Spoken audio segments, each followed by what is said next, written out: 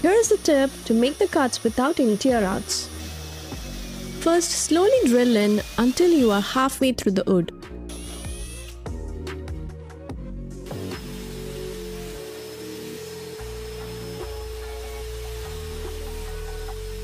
Then flip the board and drill from the other side.